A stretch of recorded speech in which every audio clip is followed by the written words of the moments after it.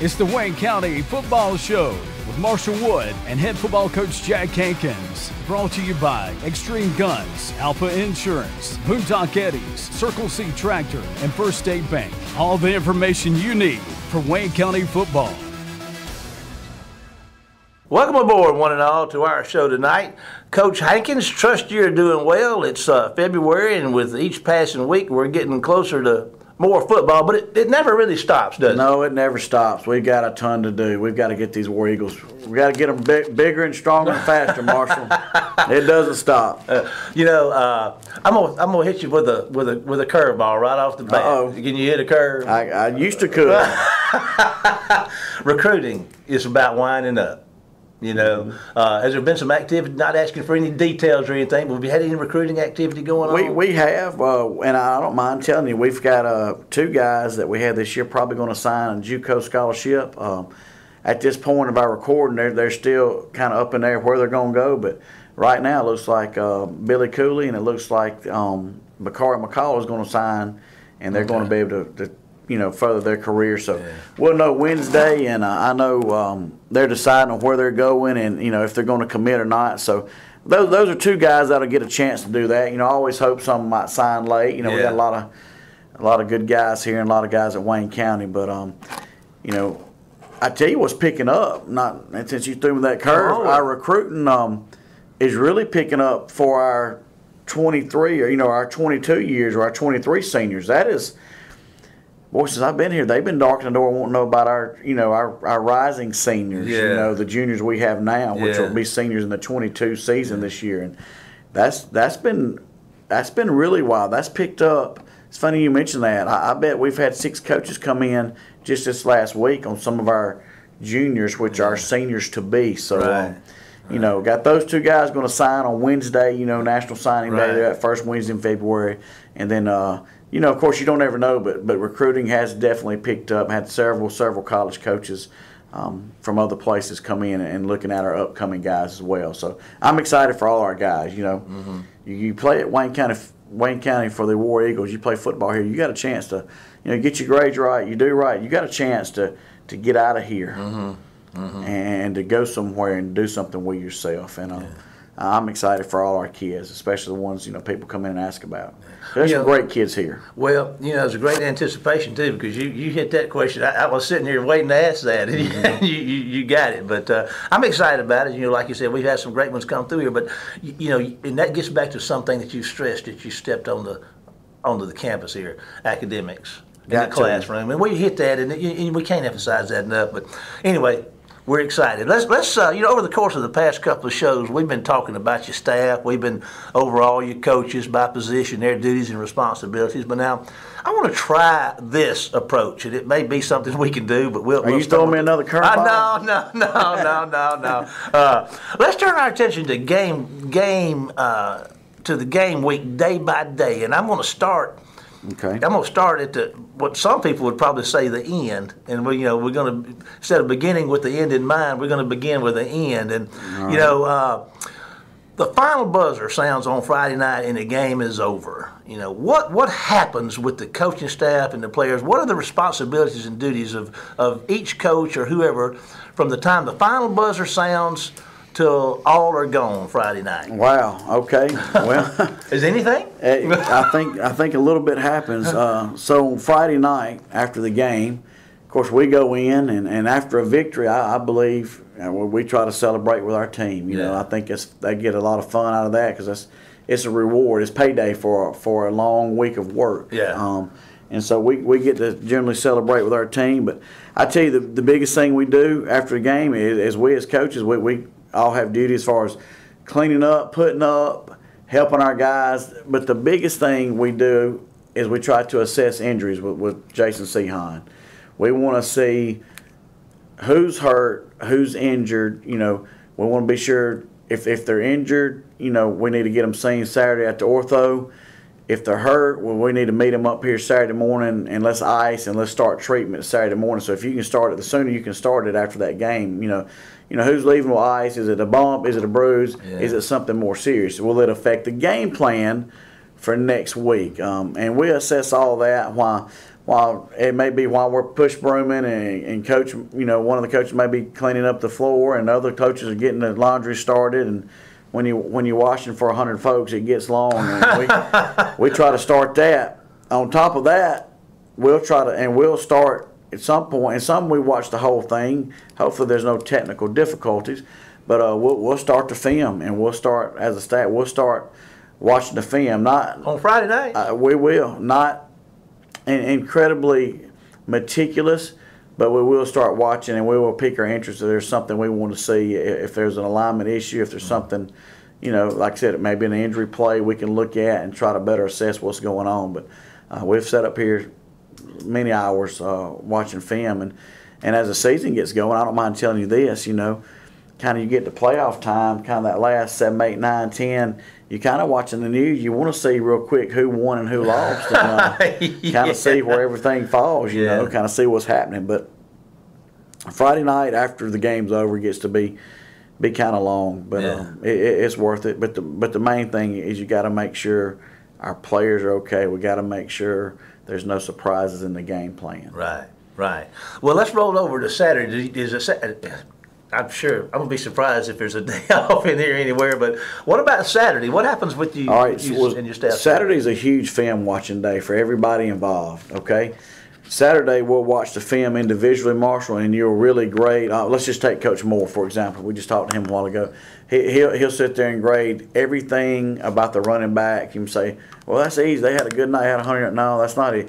You know, how did he pass block? Did he hit the right hole? Did he take the right steps? You know, did he have the correct arm up?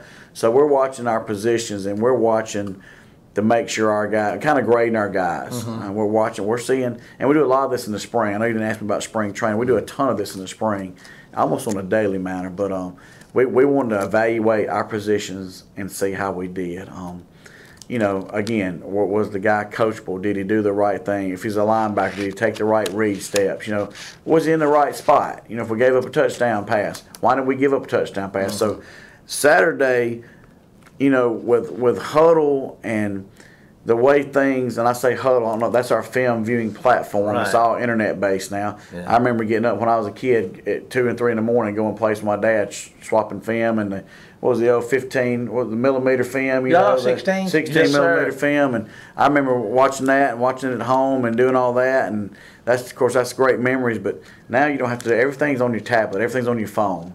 You know, I remember se- several years ago, it hadn't been that long ago, uh, I was standing out here one Friday night and the game was over, and there was a guy uh, from South Panola, which is a long way from sure. here, that had driven down here to get the film. We were playing so, you know, on a Friday night. You know, so yeah. but that that sure saves Heck, you. I've been on, I've been with. I've been on I've been on it Saturday. Some as a head coach, I've been on it some Saturdays. We'd get up and we'd we'd go across the whole state getting film on people. But man, the Hudl system, and that's it's changed the way you mm. watch film and get film. Yeah, you talked about the spring and and you know studying and seeing what they were doing and correcting those things. I imagine this is a guess in the springtime when you're studying that film, you really you really a lot more teaching, but in the fall maybe is it more of a correct a correcting. It is. It's teaching slash correcting. You're mm-hmm. absolutely right. We have to correct mistakes and we have to move on because you know, the, ne- the next opponent's waiting to hit us in the mouth, you know. and we're Wayne County. We're going to get everybody's best game. Yes, sir. Well, speaking of the game, we're going to have to take a little time out right here from a couple of our sponsors, and so we're going to be right back after this break with Coach Jack Hankins and more War Eagle football. All right, I'll. Step into the Extreme, Extreme Guns that is, located at 711 Station Street in Waynesboro. You'll find the Extreme with the area's only authorized Benelli dealer and the area's only Browning master dealer. When we say extreme, we mean it, as we have the largest local selection of firearms. If optics is your game, Extreme Guns is an authorized dealer for Vortex Optics, along with thermal and night vision scopes in stock. In addition to firearms, optics, and ammunition, Extreme has all of your bow hunting accessories, and we can even repair your cell phone while you look around. Step into and experience the extreme. You'll be glad you did. Extreme Guns, located 711 Station Street in Waynesboro. Once you start banking online, it all just starts to click. You get e statements, online bill pay, 24 7 access, your whole financial picture right on your screen. Plus, with our bank, you get the local support you need to make it all work. Get clicking with online banking today. First State Bank, a better way to bank. Member FDIC. Online at firststatebnk.com. When you come out to eat with us at Boondock Eddie's, we care. We care about providing you with a pleasurable dining experience that you deserve and will be happy with. We care about the quality of food we prepare for and serve to you. We care about the service we provide if you're dining in or taking out. We care about providing you with the best food you can find anywhere. At Boondock Eddie's, we put our hearts into what we prepare for you because we care. Come out to Boondock Eddie's and see for yourself. If you're looking for a pleasurable dining experience, we make it happen for you because at Boondock Eddie's, we care about you. い。So much to do and so little time. Get it all done and do it right with Circle C Tractor. Stihl products like trimmers, blowers, chainsaws, and accessories. Generate generators that are quieter than a Honda. There's only one place to go and get it all done, and that's Circle C Tractor, located 1510 Azalea Drive. Open Monday through Friday, 7 until 5 and 8 until noon on Saturday. Locally owned and operated. Call 601 735 3103. When it comes to insurance, one size does not fit all. At Alpha, our friendly hometown team will steer you in the right direction toward the protection you need at a price you can afford. We offer a variety of discounts for a variety of reasons, from your car's safety features to your history of safe driving. Call Alpha agent Mark Gordon at 735 1186. Drive away with savings today at Alpha Insurance. Welcome back, everyone. So we've made it. We've made it through half of the show in two days. so let's move on down to Sunday, Coach, and uh, let's see what happens on All right, Sunday. Sunday's a big day for us. Sunday we'll meet. Um, of course, we'll encourage all of our staff to go to church wherever they go, but we'll we'll meet at two o'clock. And uh, I'm telling you, at two o'clock, where we're assessing, we're breaking down film. Sunday's a big day, big day. We're breaking down as a as a group, as a staff, our game from Friday night, and we're also getting prepared for our upcoming game for the coming Friday night. So. Uh, a- after that's all said and done, we and we correct mistakes as a staff, Marshall. We really turn our focus to our opponent, what they do well, you know, what we can pick up from them, and and that's all happened individually now on Saturday. So you bring your ideas to the table, we go into it. Um, Saturday's probably a much longer film watching day than Sunday, but Sunday is when we get all our coaches together. We get everybody on the same page. We get everybody on the same wagon. We're going the same direction. Okay. Mm-hmm. Mm-hmm. Okay. You know, hey, this is the game plan. This is what we want to attack. This is what we want to do. This is what you got to do as a secondary coach. This is what you got to do as as O line coach. This is what we want to fix. And you know, talk about our plan for the week. Now mm-hmm. that's kind of what we get into. Sunday we plan for our upcoming opponent and plan for the week. Okay. And uh, we're gonna have a plan for that, which You probably start im- implementing that plan and the instruction thereof on Monday. Absolutely. on, on Monday, we bring the guys in, and we always we lift weights and watch film first. Marshall, we're going to still stay strong.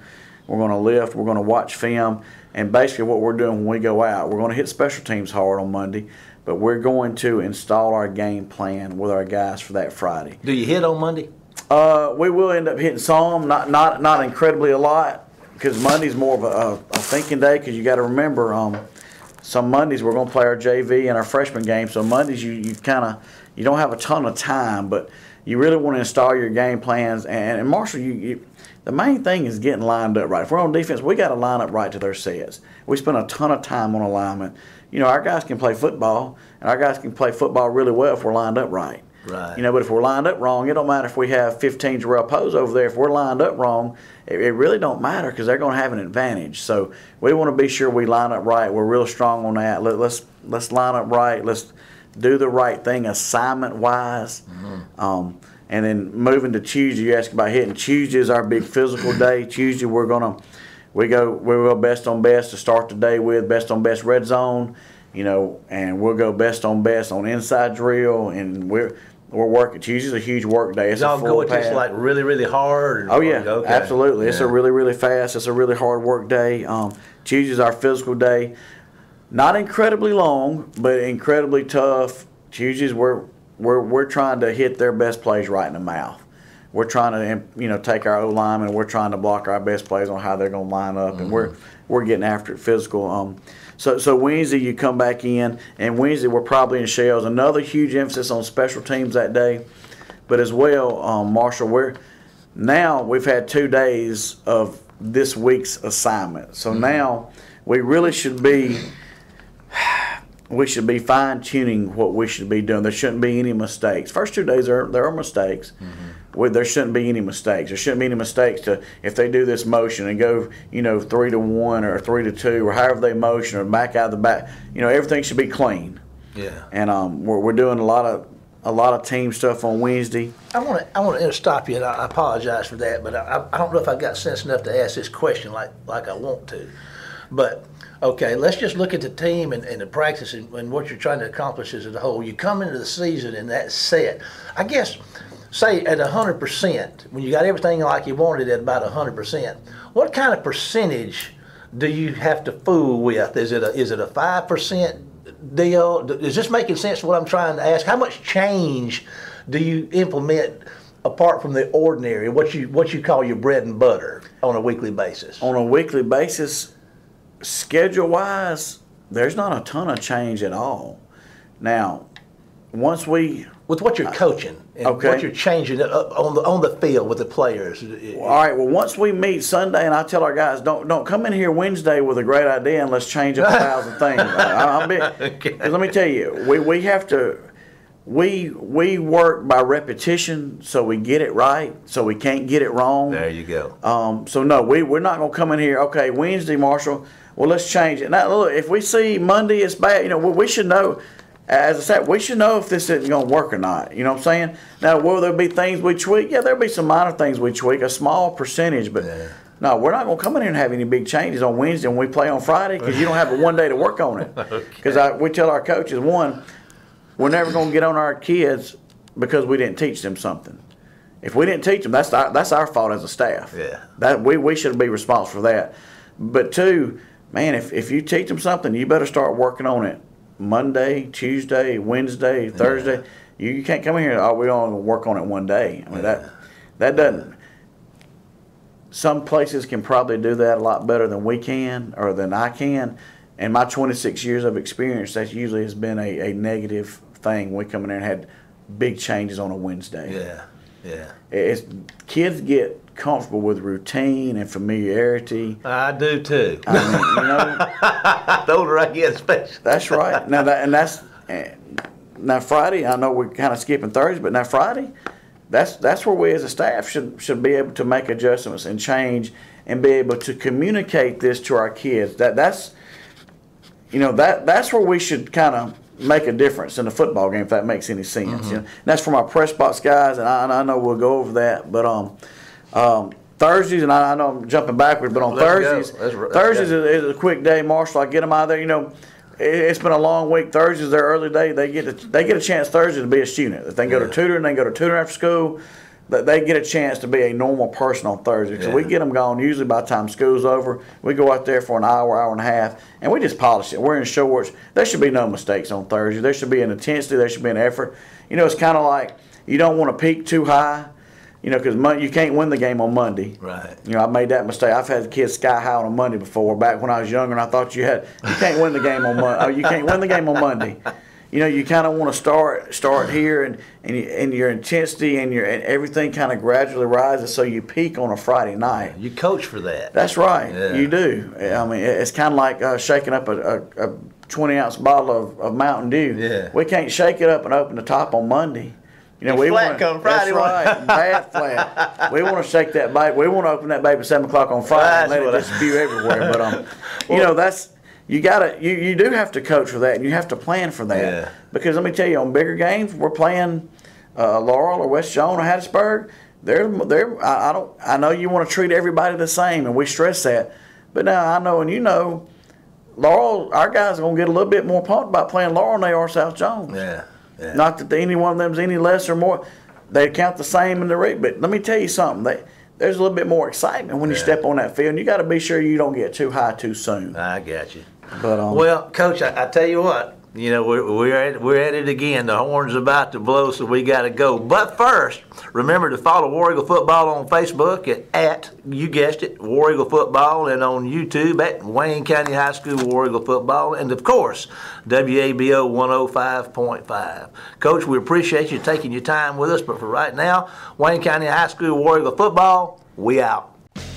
Step into the extreme. Extreme Guns, that is, located at 711 Station Street in Waynesboro. You'll find the Extreme with the area's only authorized Benelli dealer and the area's only Browning Master dealer. When we say extreme, we mean it, as we have the largest local selection of firearms. If optics is your game, Extreme Guns is an authorized dealer for Vortex Optics, along with thermal and night vision scopes in stock. In addition to firearms, optics, and ammunition, Extreme has all of your bow hunting accessories, and we can even repair your cell phone while you look around. Step into and experience the extreme. You'll be glad you did. Extreme Guns, located 711 Station Street in Waynesboro. Once you start banking online, it all just starts to click. You get e statements, online bill pay, 24 7 access, your whole financial picture right on your screen. Plus, with our bank, you get the local support you need to make it all work. Get clicking with online banking today. First State Bank, a better way to bank. Member FDIC. Online at firststatebnk.com. When you come out to eat with us at Boondock Eddie's, we care. We care about providing you with a pleasurable dining experience that you deserve and will be happy with. We care about the quality of food we prepare for and serve to you. We care about the service we provide if you're dining in or taking out. We care about providing you the best food you can find anywhere. At Boondock Eddie's, we put our hearts into what we prepare for you because we care. Come out to Boondock Eddie's and see for yourself. If you're looking for a pleasurable dining experience, we make it happen for you because at Boondock Eddie's, we care about you. So much to do and so little time. Get it all done and do it right with Circle C Tractor. Stihl products like trimmers, blowers, chainsaws, and accessories. Generate generators that are quieter than a Honda. There's only one place to go and get it all done, and that's Circle C Tractor, located 1510 Azalea Drive. Open Monday through Friday, 7 until 5 and 8 until noon on Saturday. Locally owned and operated. Call 601 735 3103. When it comes to insurance, one size does not fit all. At Alpha, our friendly hometown team will steer you in the right direction toward the protection you need at a price you can afford. We offer a variety of discounts for a variety of reasons, from your car's safety features to your history of safe driving. Call Alpha agent Mark Gordon at 735 1186. Drive away with savings today at Alpha Insurance. Thanks for listening to Wayne County Football Show, brought to you by Extreme Guns, Alpha Insurance, Boondock Eddies, Circle C Tractor, and First State Bank.